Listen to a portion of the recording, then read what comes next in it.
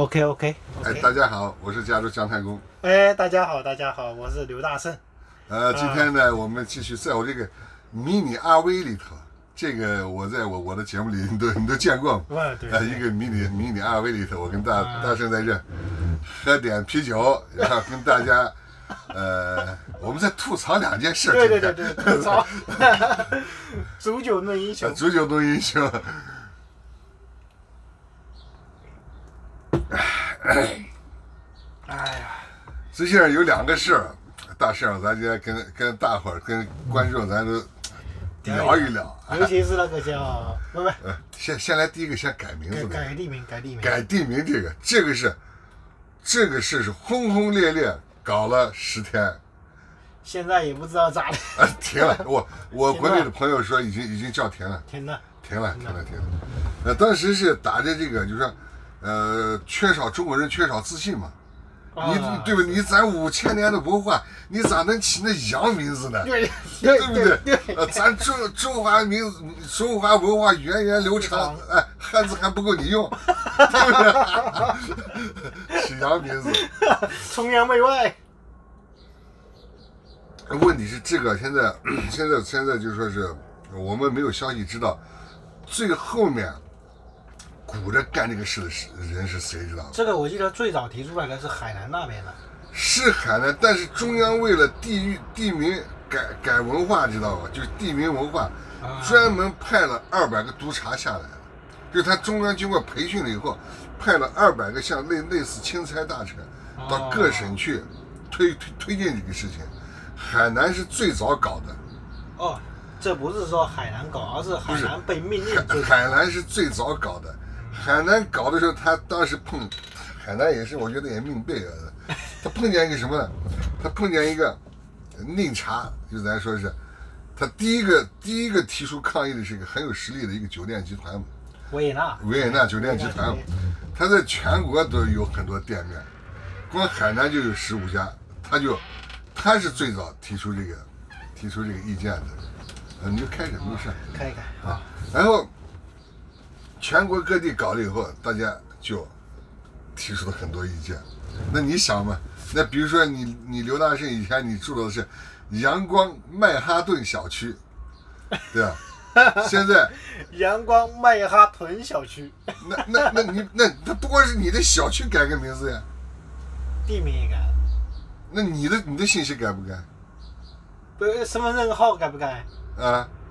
户口本、对，银行卡，你信用卡，呃，你的呃客户给你寄的呃资料，那比比方说你还是个做生意的，你有好多商业信函寄对哪，对对，地图导航，对吧？这这一连串的，这工作量太大了。这只是说，是从这个你老百姓不方便上是来说，对吧？那你最关键的，阿里巴巴改不改？也是崇洋媚外，也是外国名字啊。太崇，而且重阳的是阿拉伯传说，还不是 还不是西洋，还不是还不是西方的，还不是西方的，那还是那是阿里巴巴与四十大盗嘛，一千零一夜里头的嘛，对，而而且还是盗鬼、盗盗贼。盗盗贼的。你说他改不改？对吧？你想中国这，对你看，中国有一个牌子嗯 TCL，啊 TCL 对啊，完全英文，没有中文。那你要想，他们你要想的这个根源，就是当时起阳明是国家倡导的，知道吧？还要还要就是品牌这一块，他当时是想把这个产品走出国门，啊，对不对那我叫个中文名字，我叫个黄河彩电，那出去不好推广嘛。对那我要叫个 TCL，对吧？哎好哎，告个康佳，哎，对，哎是吧？对，那么这样的话，就引引引起了很多呀，在那同样也有崇洋崇洋媚媚外的，起了好多名字。包括理发店的什么，嗯对起一个叫什么英文谐音，哎，是啥玩意儿？那太多了，这是，呃 对不对？而且是王王府不能用，什么皇家不能用，啊那就完了，就可以说中国一半的一半的地方都要改小区都都要改，啊，小区都要改。因为我看到小区动不动就什么玉亭，什么什么哎，亭，什么亭，这些都要改，说要改，所以当当时那几天最好最最好最好玩的就是，中国一个默默无闻的一皇帝王莽突然窜红，啊，就是谁敢，是不是？王莽穿越穿越过来了，还是现在当今圣上穿越到那个时代了？王莽就爱改名字，知道吧？王莽篡位嘛，对他是在两汉之间那个十五年那个朝代，短命的朝代，他上去以后，他觉得这不好那不好，到处改名字。这现在老百姓终于看明白了，原来王莽是席地穿越回去的，或者是王莽又穿越回来了。西皇西皇，西皇，所以这个事儿闹得 哼哼唧唧，十也就是十天时间估计又好像声音又又小了。就停了，现在就彻底停了，各地都不弄了。各地我给我我我给我国内有好几个地方朋友打电话，我就说弄不弄了，说现在不弄了。最有意思，闹得最激烈的时候，我碰到那个几个呃几个国内的朋友，说是我我送他们走的时候我说，你们注意啊，回家找不见找不见你家了啊。导航真找不到了。呃，没，那导航哪来得及改呢？还没改呢，他就夭折了。其实这个就跟咱俩说一样，就是现在这个时代的这些官员啊，就跟那个大跃进时代一样，那人都无耻的很。他拿就是他那吹牛逼，就拿最低的资本去想拍圣上的马屁，马屁，对不对？所以才会出这些哎，荒唐的东西。就他这个就是有一点叫啥呢？政治不干，净整虚的。那虚的好，就是好出好出风头嘛。他就是你等于说我们圣上也喜欢干这个嘛。你，比如说同样都是想搞这种社会主义独裁，你看人家老毛对吧？人家就待到待到家里头不出去，对不对？对，就是我不出去，你这会还给我胡弄呢。那咱们现在习圣上，你看屁股沟子钩子底下跟绑了火箭一样，对不对？你这个想他是不是？他就喜欢出国访问。对对对，我以前就觉得这家伙是那屁股底下绑了两个风火轮儿？就喜欢出国访问。对呀啊，那你就你一天跑出去，那国内这会王八蛋是不是就给你糊弄呢？也许咱们习主席的思想还有很好的一蓝图，底下这会儿给你胡胡折腾。我觉得习总啊，可能都不知道下面小老百姓真实生活，那他不知道，他看到的都是官员跟他展现的老百姓的生活，是啊，他看到全是假的。全是假的。就是咱不是，咱说，我觉得这个老七这点就做的那比姜太公当年还不如。我那时候就发现，哎，我要是不管公司了，我出去喝酒去了，弄啥，连续几天不去公司，这这会儿就在底下胡胡弄啊，对不对？最后我发现，哪怕我就是喝喝高了，我躺到公司啊，这会这会儿呃也规矩一点，那你就是这样的一种一种情况嘛，对不对？对，那他那所以说，老习他就跑来跑去啊，底下的人就是急于去表现，而且他现在最最那个啥，他现在不以经济建设为中心了，以前的干部都是 GDP 干部，挂帅，啊 GDP 挂帅，他现在跟 GDP 脱钩以后，GDP 是很难弄的，尽管是假的，那也很也很那个也很难弄。就跟你说一个一个干部到那个村里头去，见到那个见到一个老汉，问老汉说：“呃，你们村的这个 GDP 是多有多少呀？”这老汉一说。一个鸡只有一个屁，我还得去数一数，我不知道我们这就是多少个屁了，对不对？他就是要造这个假，他还去把那个 GDP 的数一数嘛。这 这个段子，这个段子真的啊，对对对，对不对？就是对你就是先造。假如说这个这个一老汉是个村干部、村支书，对不对？老革命。哎，不懂这个 GDP 是啥，但是是不是当上级问他要你的说，你这你的村的 GDP 是多少？他还得一个个数一啊，数。对了，他最起码脑袋里朴素的想，一个鸡只有一个屁。那我们村有多少个鸡的鸡的屁？我得出去数数一圈，对不对？这个讲哎之前人家说中国的 GDP 挂帅啊，至少还把楼给盖了。啊，是，你就不管咋造假，那个东西你的你的你的有行动才能有有 GDP 啊，真是不好搞。它有它有实物啊，，都有实物才行。你现在这会儿吹牛逼的就就给你胡吹，你你比方说咱现在这个改名字的就一风吹了，现在哪个领导不知道脑袋一一拍，上海垃圾分类，哎，是。对不对？分好像四类呢，干干垃圾、湿垃圾，我干垃圾我倒是能懂，湿垃圾，这我就不懂。呃有毒垃圾、可回收垃圾，就是有毒垃圾我也能懂对，，纸巾再湿是干垃圾，瓜子皮再干是湿垃圾，这我不懂，这我真不懂。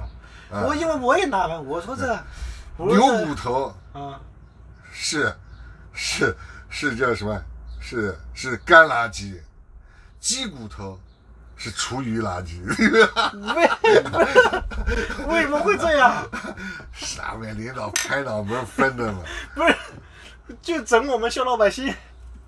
他是为了表功，而且现在很多很多五毛很支持这个啊，现在弄了十弄了七月一号到现在又是十天，十天，就整整第十天的时候，上海大妈全撤了。他以前为了搞这个事，发动了一批志愿者大妈，在每个垃圾站去盯着人去去搞分类相当于监督。啊，相当于监督，还得指导你。比如说你你刘大正，你去你一去一垃圾站，你老远就是小同志，你是什么垃圾哟？先问你是啥垃圾 然后十天以后，大妈全撤了。对，大妈是首先看明白了，这全他妈的胡扯。五毛现在还没有看明白，还说这是个好事情，要坚持。任何事情要过犹不及，你步子扯太大了，肯定是扯淡了。对对。还有吧，你说这个分类，比如说是四个桶，对，前提是得什么？你就有四辆车各拉一个桶，你不能你不能一辆车把四个桶都给装了。那那现在是现在流传出来的视频就是，这边辛辛苦苦分了四桶，然后来了一辆一辆垃圾车，全倒倒了一块。那跟没分一样。这就是咱以前说那叫逗你玩呢，逗你玩 呢，洗煤炭是吧？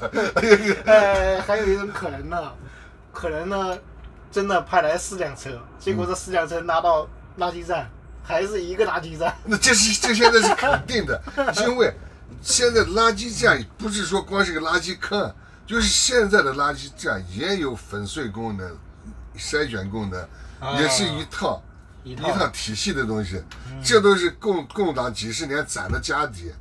你现在让他一变四，钱嘞？对呀、你比如说，这次咱们以前打个打个比方，徐家汇有十个垃圾回收站点，一个站点就这么一套房子嘛，对对，一一个处理站嘛。你现在分成四个的时候，理论上就应该什么，有四个站，一个站点有四个站，然后有有四辆车，对，专门处理。这边有四个桶，你看刚好是这个这样是这样分一个一个一个管线过去，是不是？对，四条四个桶，四辆车，四个站。四个站。然后配套的四套人马，你看这人马一变四，钱嘞，对，对吧？这个是我觉得，那大家不这应该是领导一拍脑门就啊，绝对是拍脑门的，这还他就没他就还没有像咱俩现在喝点酒还都能把他想明白，或者领导当时酒喝的也不够，嗯，没有想明白，你说对吧？那这个你是一个最朴素的，你要对应过去。你看，假如说你不对应，你一车，你看这四个桶倒到一个车里头，那肯定是不能再分拣了。那对一那多少吨混到一块了就，是就是你弄成四辆车拉到一个站，堆成四堆，都倒在那，有啥用呢就？是还是混的，还是混的嘛，最后还得混到一块儿。必须是一对一对应。必须得是一一对一对应。所以上海大妈为啥撤？让姜太公想，就是看透了，这妈全是骗人的了，不弄了，罢工了，对不对？这个领导啊，他是可能呢，听说中国啊经常会派领导出国考察，对，出国考察一看，人家是日本，人家是德国，哎呦，垃圾分类好。回头，咱不能落后啊，对不对？对，咱咱现在已经世界第二大经济对对体了，对对对，咋能丢那份儿呢？对，咱也得垃圾分类。问题是他没想到，上海垃圾一分类，福建好像是福建晋江这地方的人发财了。生产垃圾桶的，yes，你这，是你看，领导有你这水平，你看 上面一说，底下就是哦，有垃圾桶的。这肯定的。你想，本来一个变四个，对呀、本来他以前是卖到上海去的是卖一个桶的事，就是现在所有的卖往上海的垃圾桶要一变四，而且各单位是强制的呀，对不对？嗯，那你你想，卖垃圾那个那个卖汽车的估计也赚了。啊，对对对，卖垃圾桶的是赚钱了。那你要想，这到底是啊，还有卖垃圾袋的也赚钱了，。哎对对对，以前以前你家里头提一袋袋下去，哎现在必须提四袋。四袋必须弄四袋。对，那就是，那你治理垃圾分类的嗯最初的目的是啥？减少污染嘛。是，污染里头什么污染最大？塑料污染最大嘛，因为塑料不可降解嘛。不可降解。对你比如说我这个厨余垃圾，我觉得厨余垃圾有个啥，地上一埋，过两年都没了。就就就分解了嘛分解了。现在你垃圾危害最大的，恰恰是你现在你要大量生产的这个塑料，是吧？一万年都不降解。你本来是好意是保护环境的，结果你把这个垃圾，这个最最有害的垃圾多造了四倍，对对对，对不对？你也不知道这个它它这不叫不叫消解垃圾，它就叫创造垃圾。创造垃圾，创造垃圾它就是没有起一点正面作用，对对对实际还是有负面作用。那是有你要是想配套好，你想弄到这就是，垃圾桶都变成木头的或者竹子的，可能还好一点。这个啊，这个可不可以说，就因为中国是大家集体住在一个小区嘛，对，可不可以搞在每个小区里面多搞几个大箱子，让小全小区人呢扔啊的箱啊，子那我觉得也可以。集中处理，因为不像美国，美国是平摊的嘛，对，每家每户。但是你搞多大的箱子？那你你不能搞得比汽车还大吧？对对他汽车他拉走吧？对，再再或者呢，普通老百姓都忙着上班了，谁有空？啊，对，你说了上班，我还想起来，他是早上六点到八点收，下午是也是六点到八点收，你这两个时间段是正好上上下班时候。是是我下班，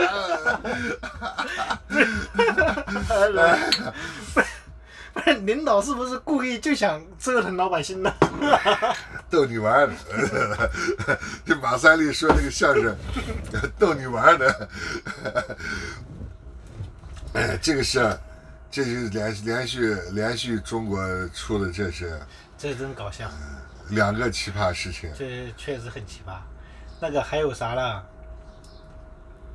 南方不是闹水灾嘛？对，湖南啊，据说有有一条什么河的支流啊，湘江已经决堤了，后来又堵上了。对，结果呢，每年吧，遇到这种大灾大难，领导都得视察，对，总书记下去啊，对，意思一下挥挥手啊，对，对不对？结果今年习总去内蒙古视察了，不是习总现在，习总现在实际你看啊，我现在，我现在就说是从上面来，从分析来说，他是大权在握，但是他有的事情，你像咱俩想，他干的一些事情也是不太着调，对不对？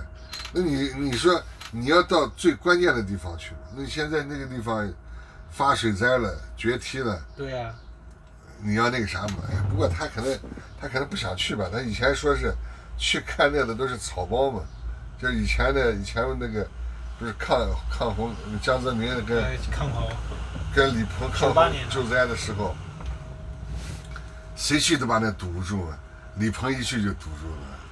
呃李李鹏是最大的草包嘛，哦，哦，我懂了，我我懂了，我懂了，我懂了，一语双关。哎，一语双关不是，随时把那口子都堵上，李鹏一气啪堵上了。老七他现在他，我觉得他最丢人的一个事情就是啥呢？就是在他呃这样的一个过程中啊，最丢人的就是香港事情。你看他当时，我想党中央这块是想强行通过这个法的，但是现在香港人一闹，通不过不了啊，，你最起码是你现在通过不了嘛。现在没戏了，对他这一搁置，那这个事情，你别看还开创了一个先例。先例，就是老百姓，我看这还是在中中华人民共和国的土地上，还是，唯一一次唯一一次说能够让政府退伍。对能让政府的一个法律不通过的，嗯，这还是唯一一次。你想想，光是光是一个高速公路一收费，闹了多少年，最后人家人家人家党中央一句话，先开始底下还有好多人说，哎，这个应该取消，那个应该取消，最后党中央一锤定音，高速公路应该收费，不但要不但现在要收，将来还要收，那谁都悄悄了，对对，对不对？嗯，所以香港这个香港应该是中华人民共和国境内唯一的唯唯一的。一一次，那这个估计与香港的国际地位有关系，有关有关系。有关系。嗯，因为香港它可以说是东西方的十字路口、对。交叉口，对，它应该说还不能说完全是一个东方的城市。是，所以这个我觉得与香与香港的地位有关系，对，这个是他那个。哦，还有咱们还可以在，还有一个是，呃，还有一个是我觉得也值得值得咱们吐槽一下，就是中国的教师现在已经正式要给教师体罚权、处罚权，中国教师啊小学吗？小学到初中阶段，可以，而且哦细则也细则也出了，就是体罚，体罚什么呢？第一个，这个器具为中国传统的戒尺，啊，戒尺规定的尺竹制，长八十到一百一百厘米，宽三至五厘米，厚零点五厘米，这是使用戒具。打你手心跟屁股，男生能打手心跟屁股，女生只能打手心它还有这么个规定。啊。然后手心最多打三下，屁股最多打六下。我的天！然后打到呃这个标准是打到不出淤血 为标准，然后打之打的时候需要三个教师在场，就是不能当着同学的面打，有专门的体罚室，要最少有三个老师在场，这是细则。还来这个东西呢？嗯，这个东西就是从来没没没呃，那这他就是入学前，入学前，你家长要跟学校签一个同意书。对同意书，同意体罚书，就跟到你到医院去看看，呃，医院去住院的时候一样，让你填那个责任书是一样的。医院那个做做手术，重大手术要写一个亲属要签字，是，大概意思就是说，如果死掉了不负责任。是，对，现在现在就是这种情况。嗯，现在就说，就这个你可以你可以上网，你年轻嘛，我觉得你应该你应该关心一下这个事儿。你回去上网查一下教师惩戒权，教师惩戒权。对，这是让姜太公说这是复辟嘛？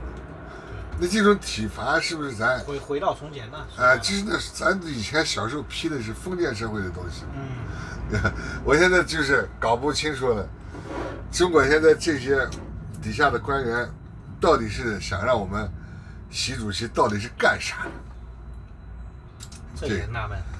这个就是 哎，我感觉吧，可能这习总啊，也不知道小老百姓在干嘛。